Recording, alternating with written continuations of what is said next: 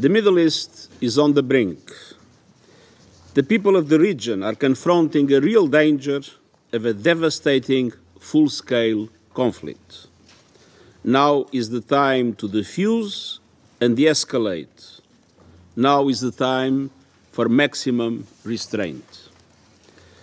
This emergency session has been convened upon an urgent request by the permanent representative of Israel, who noted in his letter dated 13 April to the President of the Security Council that Iran had launched, and I quote, a direct attack from within its territory of more than 200 UAVs, cruise missiles, and ballistic missiles towards Israel in clear violation of the UN Charter and international law.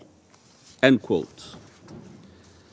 Yesterday, the permanent representative of the Islamic Republic of Iran also addressed a letter to the President of the Security Council stating that, and I quote, in the late hours of 13 April 2024, the Islamic Republic of Iran carried out a series of military strikes on Israeli military objectives, end quote, he stated that the action was taken, and I quote, in the exercise of Iran's inherent right to self defense, as outlined in Article 51 of the Charter of the United Nations, and in response to the Israeli recurring military aggressions, particularly its armed attack on 1 April 2024 against Iranian diplomatic premises.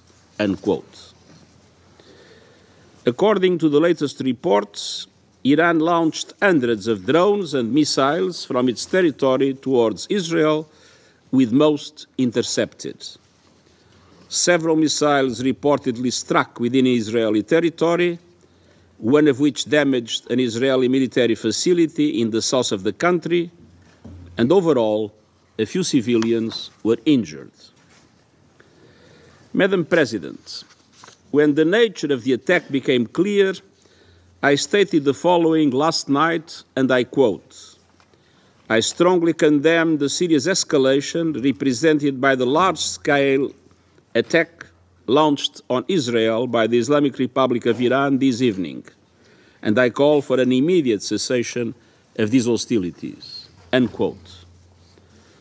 I remind all member states that the Charter of the United Nations prohibits the use of force against the territorial integrity or political independence of any state, or in any other manner inconsistent with the purposes of the United Nations. Furthermore, the principle of inviolability of diplomatic and consular premises and personnel must be respected in all cases, in accordance with international law, as I stated when condemning the 1 April attack on the Iranian consulate in Damascus. Madam President, it's time to step back from the brink.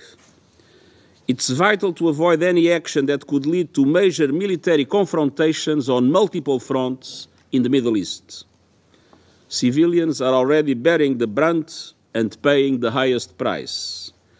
And we have a shared responsibility to actively engage all parties concerned to prevent further escalation.